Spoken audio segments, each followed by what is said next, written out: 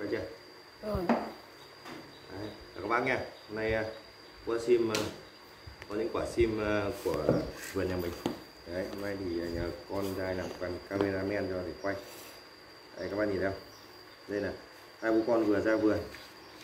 Đấy hái uh, có mấy cây thôi. Các bác nhìn này. Đấy con soi vào đây để cho rõ. Đấy soi vào đây các bác nhé. Sim của em đây. Đây là sim trồng đấy các bạn quả rất to mọng nhé quả to như ngón tay cái luôn, đây.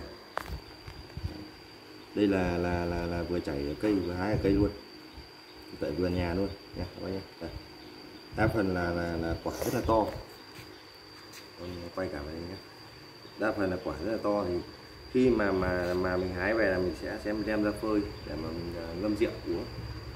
Đấy, thì trồng sim rất là lâu rồi, nhưng mà năm nay mới có dịp để hái quả đấy các bạn. Đấy, đi đây.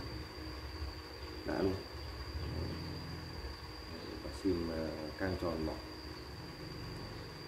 thế không cần thiết phải sim rừng sim nhà đây. Quả cũng đã to rất là to. Các quả tròn quả tròn đúng không? đấy. Chưa tức là mình à, mình chưa động cái gì cả mà mình cho món rất vừa phải. Quả đã mang đấy cái này mà mà ăn luôn cũng được các bạn.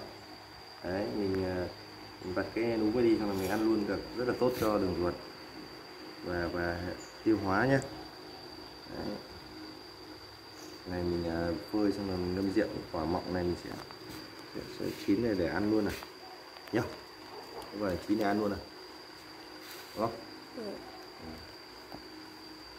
thì ờ, hôm nay là buổi đầu tiên là hái sim Đấy, cho nên là là mình ờ, hai bố con là sẽ sẽ quay một cái video để mà thử thấy toàn thể à, các bác chơi sim. Đấy quả sim như thế này đấy. Đấy hoa thì các bác được xem rồi. Quả mà quả sim nhà rồng thì, thì các bác biết là là cái trọng lượng nó rất là nặng. Nếu như đầu mùa này thì nó rơi vào 50 nghìn một cân. Đấy thì chắc không có mà mua. Tại sao là là là sim quả nhà này thì cái cái cái hương vị nó rất là đầy đủ và nó, đậm. Đấy, những quả như này. Đấy, những quả như này thì chắc phải phải 80 nghìn một cân các bạn vâng nhé. Đấy. thì chả mấy quả là được một cân thôi nhưng sim rừng thì thì nó chỉ ờ, bé như thế này thôi leo trên rừng.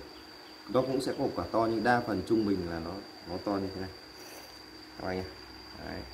đấy quả sim rừng đa phần là là quả sim rừng chứ còn sim nhà thì thì đây. Vừa xanh vừa chín các bạn nhìn hai cái thứ quả nó khác nhau rất là nhiều. Đây. Đấy. nếu sim rừng trung bình thì nó nó sẽ nó sẽ được dao động to tầm này. Đây là quả to. Quả sim nhà đây. Hai cái quả nó, nó đều khác nhau luôn. Năm ngoái con còn thấy quả xin nhà mình như thế này. Ừ đây là đây là những quả cây mình không không chăm được. Rồi.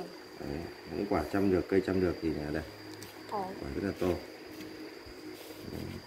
rồi thì thì các bác ờ, xem và nhấn like các bác nhé. Nhớ đăng ký ủng hộ kênh Lưu Hoa Sim. Thì hôm nay Lưu Sim vẫn trồng sim và chúng cũng vẫn trồng nhiều dự án lớn. Các bác cần thì ờ, có cây giống cây ờ, cây chơi cảnh cũng có cây cổ thụ cũng có các bác nhé. Đấy, các bác nhớ đăng ký ủng hộ kênh Lưu Hoa Sim và cái số Zalo cũng là gọi được luôn. Em sẽ đặt dưới màn hình dưới góc màn hình các bác nhé. À, xin chào và hẹn gặp lại các bác à, trong video về sau.